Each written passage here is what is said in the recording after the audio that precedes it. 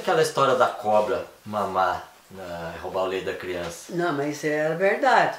Verdade, porque tinha uma comadre minha, que eu batizei o menino dela e ela morava no sertão, lá pro lado de Pamonã, sei onde lá. E ela estava muito magra, e a criança magrinha, magrinha, disse que eu tinha levado no médico tudo e não, não sabia o que a criança tinha. A, minha, a criança acabou cheia de ferida. Assim, a boquinha da criança toda pecada assim, volta e a, cheia de ferida, não sarava. E ela magra. E tinha uma soneira que não tinha que fizesse ela, tanto sono que ela tinha.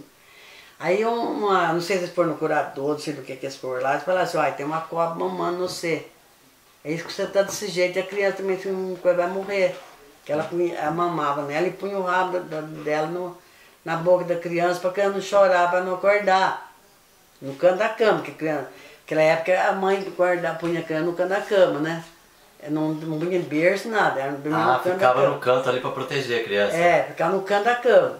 Uhum. Minha mãe também era assim, punha no canto da cama a criança, fazia um travesseirinho pequeno e punha a criança deitada no canto da cama. E então, aí disse que ela pegou então eles falaram assim, o marido então nós vamos ver se nem caça cobra. Ela, ela, trocou de quarto. Foi dormir no outro quarto e deixou o quarto dela vazio. Pôs a irmã dela para dormir no quarto, na cama dela. Trocou de lugar. Trocou de lugar. E a, e a cobra foi procurar ela lá, na, na cama.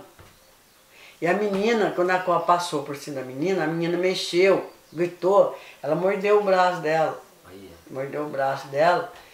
Aí foi aquele alvoroço de gente, né? Ela gritou e a, o marido da mulher veio correndo e achou, achou a cobra, que matou, que bateu nessa, que é só leite que voava.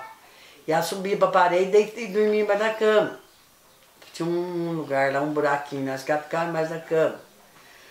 Aí daí disse que a mulher sarou e as meninas arrumaram um carro lá, e levaram para a cidade. Quando ela chegou ali no.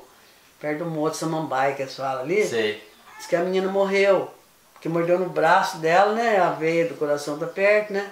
Uhum. O sangue já agitou e matou a menina. A menina com 10 anos. Nossa. Morreu a menina. Aí que descobriram que a cobra estava mordendo, comendo, mamando. E é verdade isso. Não é mentira, porque não é caso que é de mentira, né? Uhum. É verdade, que ela contava nós isso aí.